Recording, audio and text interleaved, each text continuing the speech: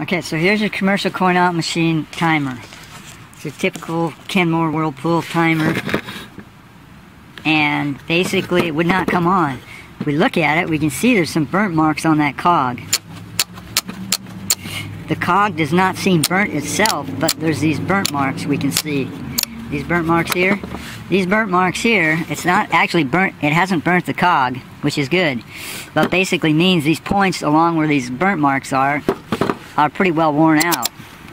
And you can see it, it kind of expands from pretty much from these three points here to the left.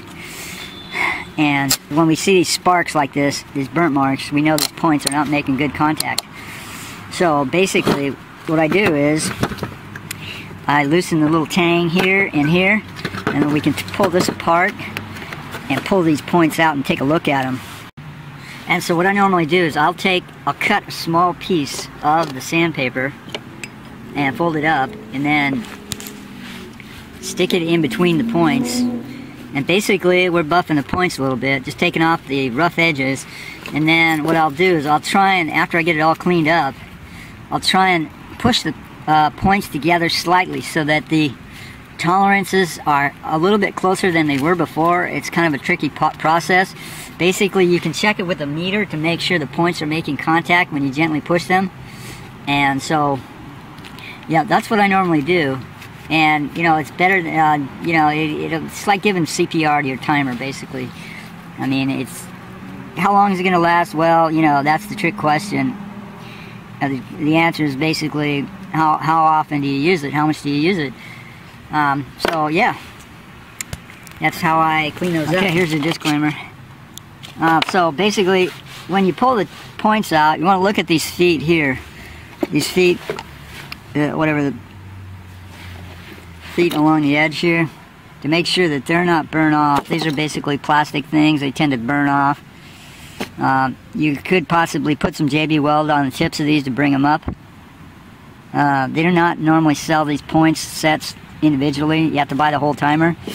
Then if we look in here, we can also see that there are burnt marks inside there.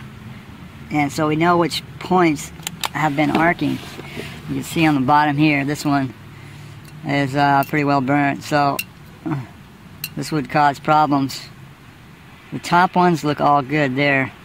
But these bottom ones, yeah. These bottom ones, you can clean them up with some brake cleaner or Ideally, you want to put a, a, electronic contact cleaner in there and get your the finest grit you can get.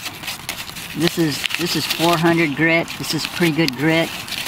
Um, it's uh, yeah, it's pretty fine because you just want to take off any of the major corrosion on these things. You don't want to go any deeper than that. Just the pits. Trying to try and clear out some of the pits, like points on a car.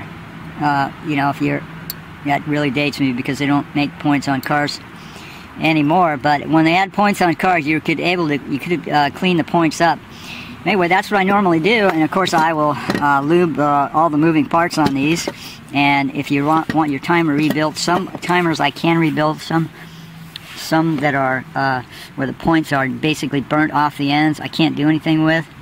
Um, but if you're interested, you can contact me 707-443-8347 Pacific Time. And normally I rebuild the timers for $35 and that includes uh, shipping in the continental USA.